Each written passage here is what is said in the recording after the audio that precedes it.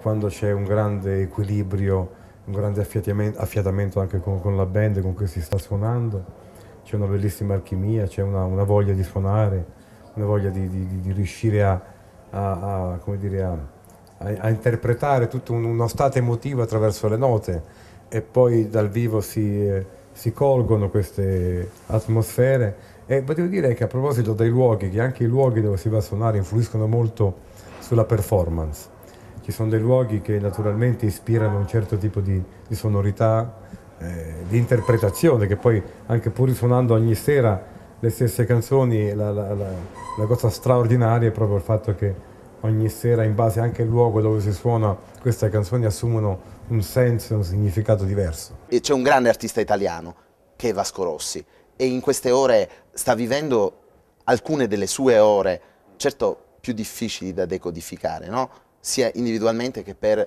il pubblico, la gente che gli vuole bene, per l'opinione pubblica se vogliamo. E, e, tu il precipizio di Vasco Rossi come lo stai vedendo? Ci sono tanti di quei meccanismi eh, che, che mettersi in una posizione e, difenderla è, è una scelta molto importante.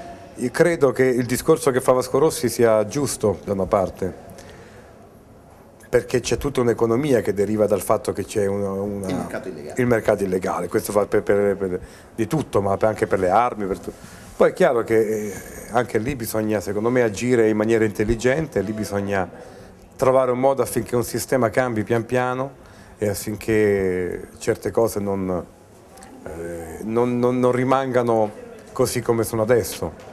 Bisogna assolutamente trovare modo affinché la criminalità organizzata, qualsiasi tipo di mafia eh, abbia sempre meno potere perché il problema adesso è che è un potere che, che, che è difficile individuarlo, focalizzarlo, localizzarlo.